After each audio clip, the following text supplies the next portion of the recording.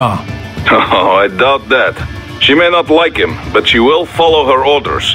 She is just the leader on the ground here, I think. Someone else is calling the shots behind cover. all right.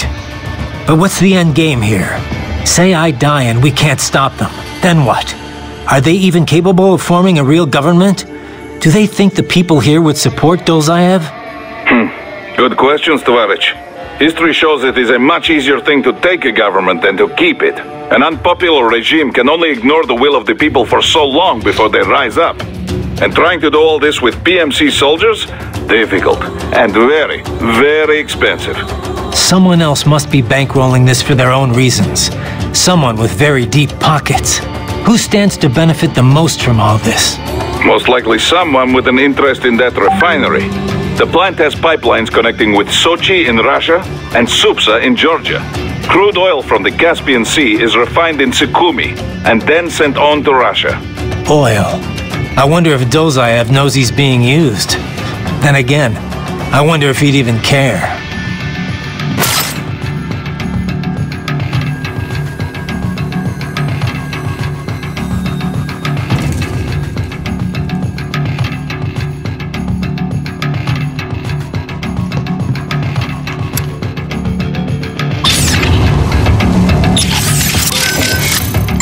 You get all that, Kev? The woman with Dozaev. That's Mistral? Yep, the only female member of the Winds of Destruction. The name is from a cold, dry regional wind in France that blows from the Alps down to the Mediterranean. She French? Yep, born in Algeria, though. It was a French colony until they declared independence in the early 60s. Haha, but you already knew that. Yeah. They were the last French colony in Africa. Hmm, You know your history. Plenty of French colonial families still live there. Pied Noir, they're called. I've heard the term. The main character in that Camus novel, The Stranger, was one. You also find a lot of Algerians who've immigrated to France, although they put a stop to that a while ago. Yeah. A lot of European countries seem to be clamping down on immigration lately. Mistral joined the Foreign Legion to get her citizenship. A woman legionnaire? And not the first. There was one that served in the North Africa campaign during World War II. Anyway, Mistral's been doing PMC work ever since her Legion discharge. We're not sure why she went cyborg. She's officially leading the force at the refinery, but she is also a combatant. Uh, I don't have anything on her combat style, but do not underestimate her. The Winds of Destruction are trained killers, all of them. They didn't let her in because of her looks. I don't need a reminder. I won't let my guard down. Yeah, but um, speaking of her looks, she's got, well, I mean, a couple of, I mean, huge. Look, just don't get distracted, okay? Sounds like you should take your own advice there, Kev.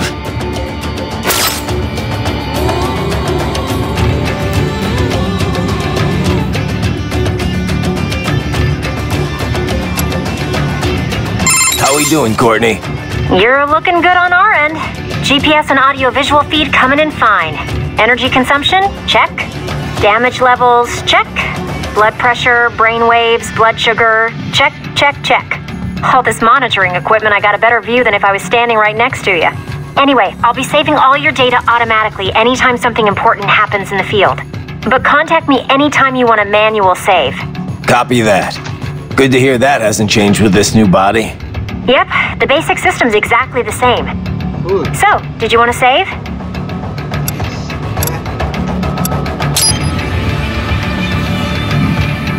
And save complete. Simple, huh? Copy.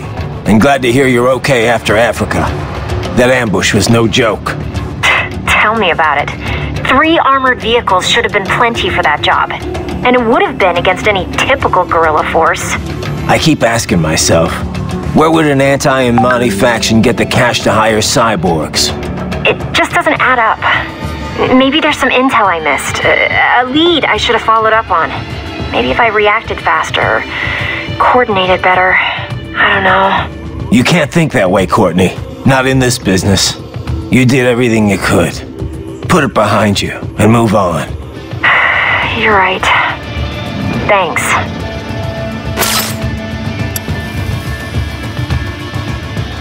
Raiden, Shall we review the capabilities of your new body? Copy that. Go ahead, Doc. As we discussed, you've been outfitted with two revolutionary new abilities. Fuel electrolyte absorption and self-repair from C's nanopaste. Precisely. First, electrolyte absorption. This is simplicity itself. As your HF blade is linked directly to your fuel cells, simply cut into any source of electrolytes. Say, a hostile cyborg made up of CNT muscle fiber. And your fuel cells will recharge on their own. Rather elegant, wouldn't you say? I would indeed. It's been great so far. But ah, the repair process is a bit more uh, involved, a bit more uh, messy, you might say. Most military cyborg models store a cache of biotic self-repair nanopaste in their lower abdomen. So I need to slice them open and use Zandatsu to extract it. Cut and take, in other words. Correct.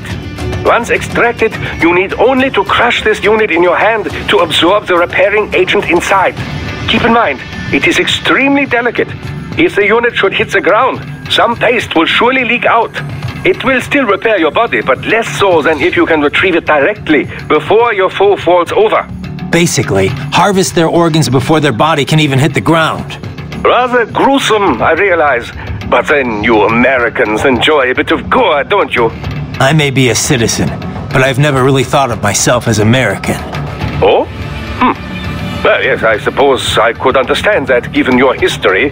But what then? Surely you don't identify as a Liberian. I don't identify with anyone. No nation, no ethnic group. I'm my own man. Anyway, I seem to recall those gory torture porn movies were pretty popular in Germany, too. Indeed, indeed. These splatter films are big in Germany, Russia, Japan, everywhere. Well, everywhere except regions afflicted by actual warfare. It all has to do with taming our fears, you know? Huh? The desire to feel fear, to taste death, but from a safe distance. These films allow the viewer to delude themselves into thinking they have overcome their fears. This... Okay, uh, okay, Doc, I got the gist. Let's save the full psych lecture for some other time, though, huh?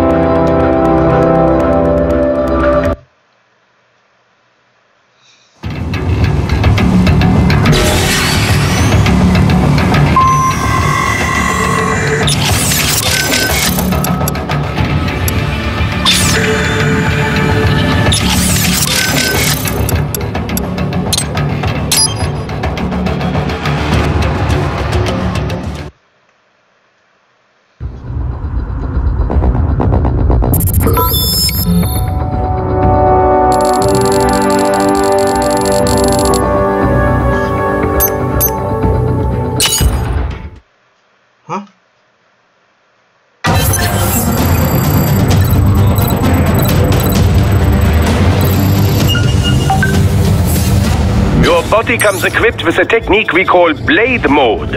Let's begin by assuming the fighting position. Good. Now use blade mode to strike all of the targets.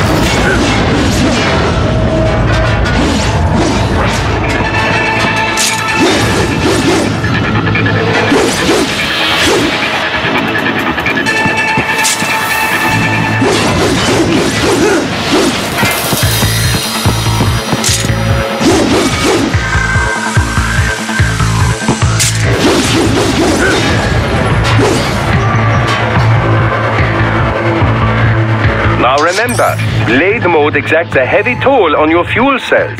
Replenish your energy by attacking enemies. Your blade will absorb their electrolytes automatically. Try restoring your fuel cells back to maximum now.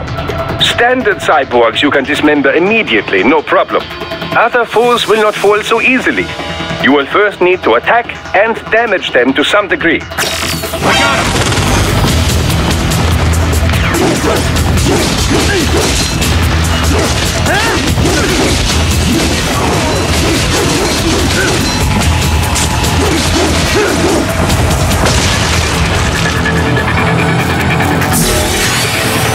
And now, the Zandatsu technique, or the stab and grab as some call it. Activate blade mode with full fuel cells and you will automatically analyze the ideal cutting position. Execute it successfully and you will seize your foe's self-repair unit and restore some of your vitality. Now, try it for yourself. Take the enemy's repair unit before he falls. Next,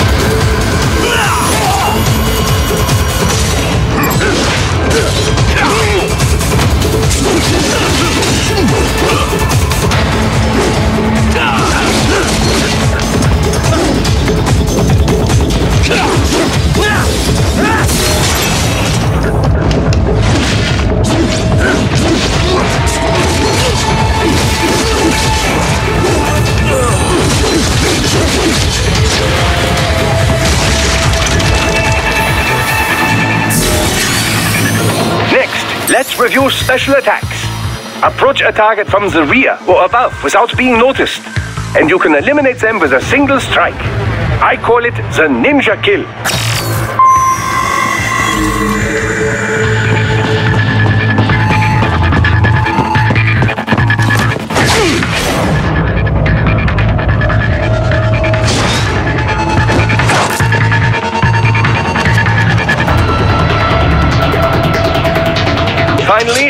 Finally, about your enhanced AR. Enhanced AR adds several layers of information to your augmented reality vision. Use it for additional intel on your enemies or to see new aspects of your surroundings.